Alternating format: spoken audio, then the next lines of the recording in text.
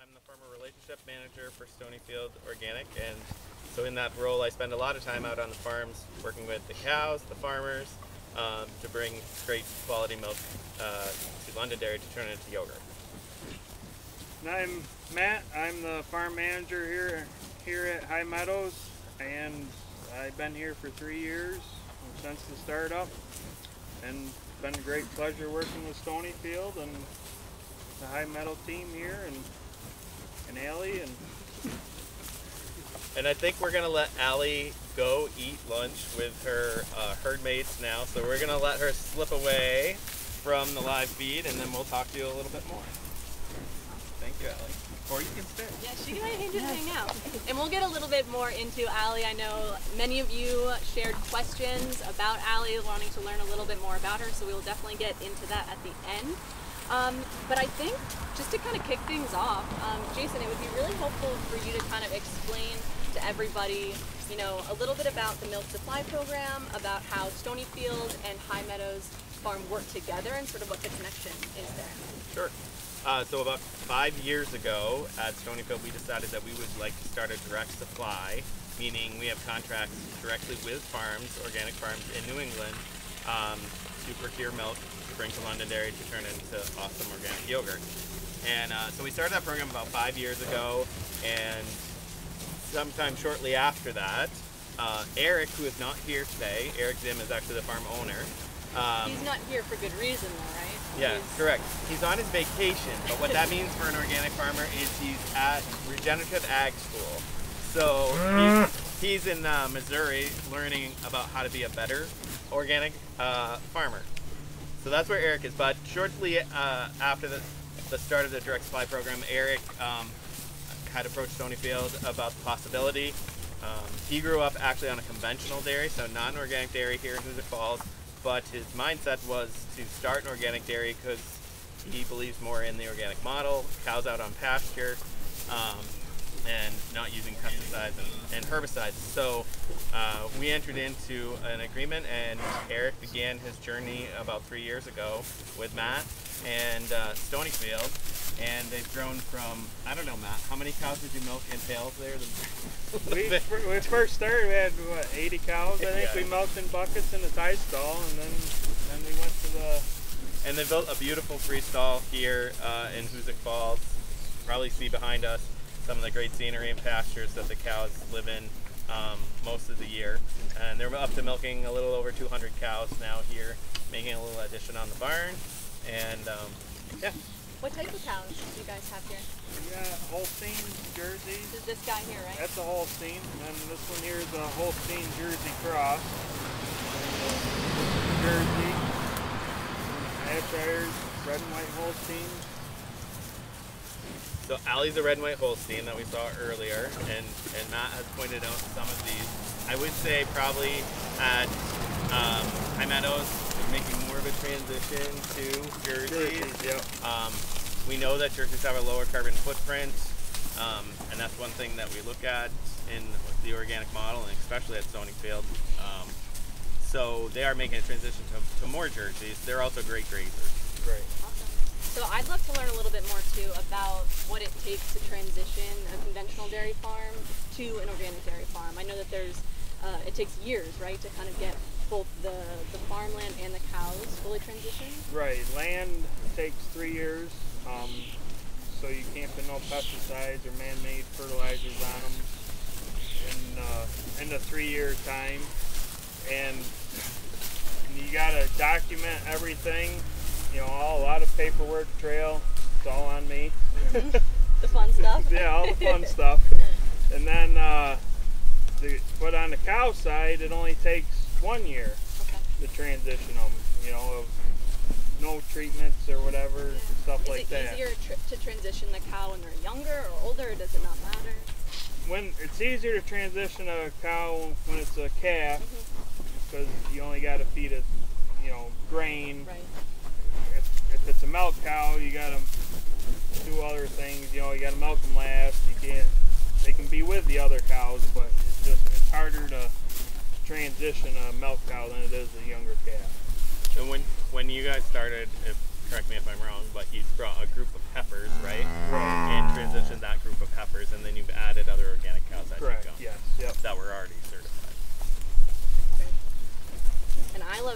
learning about the different kind of personality traits of the different types of cows. You were telling us the Jerseys are nosier than some of the other uh, Yes. types, right? Yes, they are. They uh, they they always attend tend to come up and see what's going on, as you can see. We're surrounded by Jerseys actually, so that makes perfect sense. So They've been eating the leaves off the trees, and uh, the picnic blanket went awry from a jersey. Yes, we did have a fantastic picnic uh, blanket set up with an old-fashioned uh, basket, and they just uh, wreaked havoc and kind of took it over. But that's what happens when you try to have a picnic with 80 cows in a pasture. So, but they are loving it out here. I mean, we've been kind of just hanging out in the pasture, watching them do their thing, and um, it's really awesome to kind of just see them in, in the environment and habitat in which they should be in, really just enjoying um, the fresh pasture and being with one another. And um, I'd love to kind of walk through the, the farm, the free free Free stall. free stall farm that, uh, Barn. barn that you guys are putting in, and learn a little bit more about how that works and, and how the cows kind of uh, can uh, deal with that situation. okay, the, the freestall barn is a three row barn they call it. So it's got three rows of stalls for them to lay down at any time. Then there's a feed alley with a feed bunk, uh, so they can get up and go eat at any time they're hungry. Um, and then free choice water. There's uh, six waters in the barn, so they have plenty of space for water because they do drink 30 gallons of water a day. Wow, So, that's a lot. so it takes a lot of water to make milk too. And I would just add a couple other features that I think are really cool about uh, the barn here at, at uh, Hoosick Falls is they have curtains on the side that are automatically controlled. They go up and down for ventilation. They're high on a hill, so they have cross ventilation. They don't actually don't have to use a lot of fans, so they don't use the energy uh, that it would take to run those fans. So I, that's a really cool model here. And then as far as the cows being in the barn, they're outside in pasture now. One thing I would mention with organic standards, so the cows are outside at least 120 days a year, but more than that in most situations. Um, so yeah, they spend a lot of time outside, but when it gets really, really cold in the wintertime, obviously they need a place. Yeah, of course.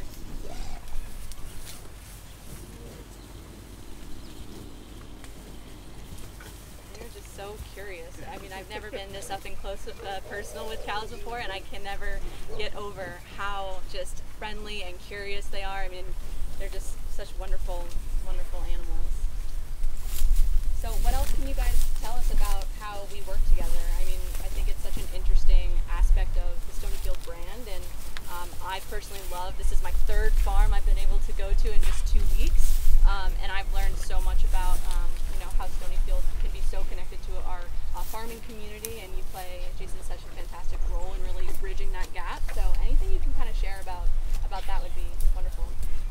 One thing I would mention, and um, Matt can say more about it if he wants, is um, so at Stonyfield we're working on a project called Open Team, which is open technology ecosystem for you know, management of ecosystem agriculture. Um, and that is a, a program that has been spearheaded by Stonyfield and Wolfe's Neck and um, and the Farr Institute, and it's really looking at how can we make soils healthier and how can we capture more carbon in the soil. So we have uh, 10 pilot farms that we're working with this year, and Open Team is one. That, I mean, Uh, High Meadows is one that's working with us on Open Team, one of the pilot farms. So we spend a lot of time doing things like soil sampling and um, looking at pasture management. Uh, we're looking at a new technology this year called Pasture Map, which Matt can probably tell you more about. but, um, tracking pasture intake, uh, where cows are. So, so it's it's simple in some aspects, like cows out on pasture. But we're definitely using technology to try to reduce our footprint. Yeah, that's a really interesting intersection of science and agriculture, and it's very complex. And um, I'm really proud that Stonyfield is investing so much in that development. Um, it's really, really interesting. Um, so, should we talk about cows? I love the the fun fact: the 30 gallons a day. That's crazy. I can't even fathom drinking that much water. But any other fun like cow facts that we can kind of share with um, the audience here? I mean, many people that are joining the live stream today are a part of the Have a Cow program and have been loyal members for many years. Thank you all for the continued enthusiasm and support there. Um, but this crew is just so excited about the cows and learning more about them. So if there is any fun facts or interesting tidbits, I think that'd be kind of fun to share those. Matt shared how much water they drink, so they also eat about 100 pounds of feed a day. So that's grass. If you can imagine going out and harvesting 100 pounds of pasture a day, it's a lot of uh, feed. So I mean, um, when we came out here, what an hour ago, it was it was knee high in grass. So they really do a good job of uh, cutting down the grass on their own through their own diet, which is awesome. And that's another part of uh, Matt can explain more about rotational grazing a little bit, maybe Matt, how you how you swap them around. But cows don't just come out in one pasture for one day. happened to be in this pasture today, but actually this morning, a few hours ago, they were in another pasture. Right. So we move them around. So every 12 hours they have a new, a fresh new paddock to graze off of, because no cow wants to go back and eat and eat old feed. So, so every, so after every milking they go out and they get a new section, and then on the hot days we let them back in the barn so they can get a TMR ration, which is a total mixed ration of baleage, baleage and grain. So when they take a bite, they get a full, a full meal, vegetables and steaks and all that, all, all, all, all in one bite. So every cow eats the same. And then after the night milking, they actually go out and graze all night and lounge around and sleep, all, all on nice comfy mattress ground. It sounds like the life. I mean, that doesn't sound half bad. And shade here as well. They're all under the tree at the moment, or a bunch of them are. I think they ate better than you ate last night. You said you Yeah. had cereal for dinner I know. last night. It's Cows always come first. of course, of course. Uh, were there questions that? Yeah, well, we got lots of questions about Allie, the star of the show, who has escaped us, but she's out there with her friends. Um, can we answer or ask some Allie yep, specific questions? yep, we can do that. Um, the first and, and most uh, requested, let's see, let me pull it up, was a little bit more about how she got her name. Which is an inside joke here at Stonyfield. Maybe Jason, you can answer that. That's one. this is that's a loaded question. I was not here the day she got her name. So Allie also has a number because they use management numbers here at High Meadows, but they also have names. And but Allie had escaped the system of getting a name. So when she decided, they decided to have her become part of the Have a Cow program. The person that runs that program at Stonyfield became her namesake, and so that's Allison. Uh, and so she also has red hair and and fiery personality qualities, just like So Allie does an cow. Allie. Which is a perfect, really a perfect match. So it's a great fit, an inside joke, but now you all know. Yeah, now you're all around the inside of that one. And she's laughing just off camera. Yep. Um, what are Allie's favorite activities?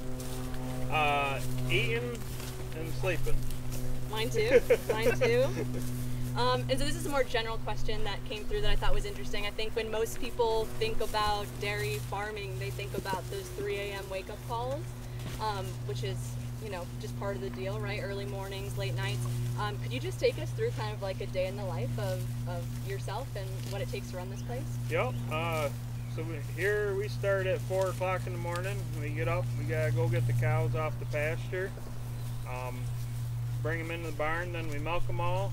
Then they go out to pasture and eat. And then I mix a load of TMR, run that off.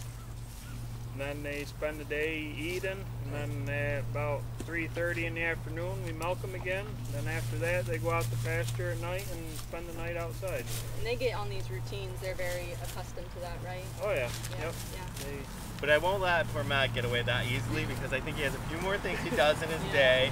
As this morning, he was telling me that he was mowing last night with, I, I noticed a new mowing equipment here and I was asking him about it and he said he was mowing last night. And then his son told me this morning when he was helping me watch cows that uh, he was mowing with his dad last night. So I have a sneaking suspicion that's why he had cereal at 10 Yes. o'clock last night. a lot going on. I know it takes so much to uh, keep the cows happy, and uh, I know you do a lot of hard work. So thank you for everything you do for that. Um, we're wrapping up. I mean, we are coming up on the end of our live stream, and I just wanted to take a few seconds just to thank you all for joining. Uh, this is so fun for us to kind of get out and be in the weeds, you know, no pun intended, but really get out in the pasture, and it's incredible to take you all along with us. Um, I posted on Facebook um, kind of a request from you all. Where do you want to take? Where do you want us to take you next? What are you interested in seeing, learning more about? Please make sure you leave your comments there. We'd love to accommodate any of those requests um, that come through. Uh, if you're interested in joining the Have a Cow program, uh, you can select Allie as your, your cow of choice, kind of follow along um, what it's like to live on an organic dairy farm through her eyes, which is so cool. Um, you can head to our homepage or stonyfield.com slash have a cow. And the last thing I'll end with is uh, Stonyfield did something pretty epic today. Um, we love cows so much that we want to dress like them too. So we designed a very chic uh, moo dress that is live on Amazon for purchase, and it is a very fun, very amazing uh, organic cotton flowy material for summer dress. So it's more or less one of the funniest things we've ever done. But be sure to check it out. It's on our Instagram page, and you can uh, shop there and uh, go to our Amazon to actually purchase. And with that, uh, do you have anything else you guys want to add? But Uh, no, I, I, I want to thank Matt and Eric, Yeah. who's not here, for everything they do every day to bring us high quality organic milk. Yeah. That we saw leave